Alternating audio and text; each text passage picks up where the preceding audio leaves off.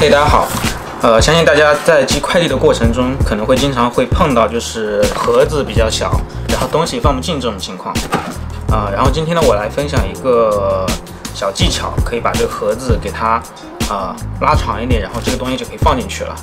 那么下面我们就来呃把这个盒子改造一下。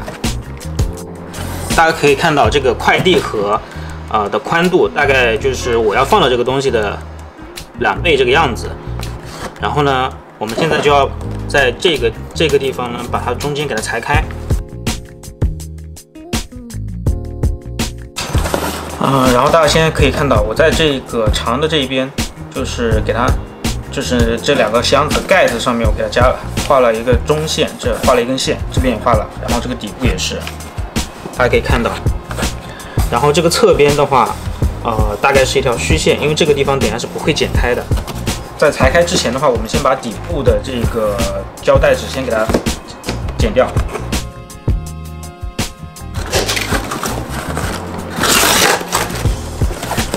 然后现在我们把依次把这几个区域给它揭开、裁开，裁到这个呃交界处这个地方，然后就不要裁了，其他地方也是一样。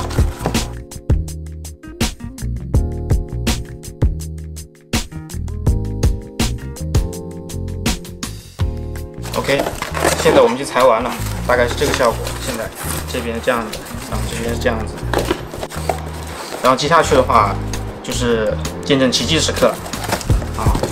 我们这边拉着这个角，然后这边拉着这个角，就侧边的，然后我们把这样拉开。当然你这边中间的话，也最好先给它折一下。OK，这样大概就是。最终的一个效果，然后我们把这个东西给它弄直，弄直了之后，然后这一块我们给它折起来，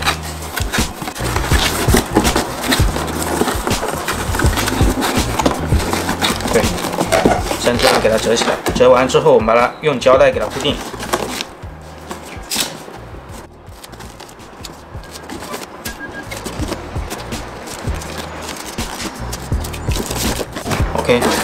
现在大概就是这样子的一个盒子。现在我们把这个东西给放进，东西给它放进去。